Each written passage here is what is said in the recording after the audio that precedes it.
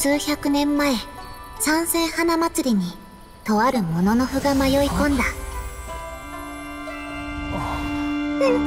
どうして人がここに？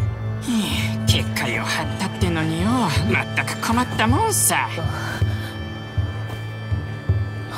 祭りの最中妖怪たちは話し合い彼を追い払おうとしたがこの時とある声が聞こえたせっかくの我らが祭り楽しませてやるのが一番だ。妖怪やら人やらを分ける必要はなかろう。それは辛抱熱き妖怪の声だった。彼が口を開くや否や妖怪たちはピタリと静かになった。おい小僧いける口か？あそれなりには。おほでは我らと共に今夜の共演を楽しんでくれ。こうして大妖怪と侍は共にひとときを楽しんだ。祭りの最後には秋津羽遊びで思い切り勝負して引き分けとなり深い友情を築いたのだ。これは驚いた。人ごときが我の動きについてこられるとは。千変万化の揚力を拝見できて自分も剣術の糧を得た。刀が得意か。自分はより強い相手を求めて各地を旅しているでござる。ではこういうのはどうだ？これから10年ごとにここで勝負するのだ。楽しみでござるな。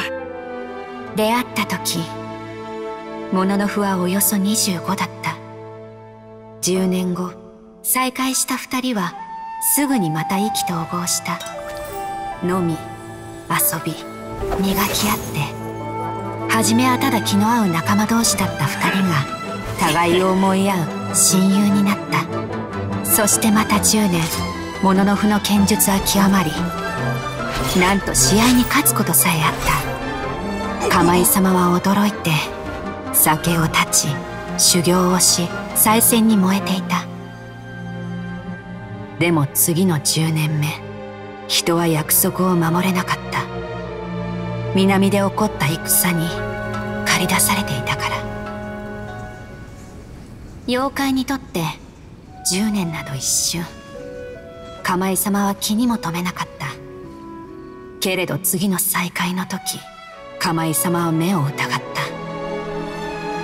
た。ものの符は弱い65で傷だらけ白髪だらけだった。おい小僧。まだ剣を握れるか？自分は年じゃもうそれには答えられんこたびは別れを告げに参ったのだ、そうか。秋津羽遊びにもう一度付き合ってくれるか？それもよい。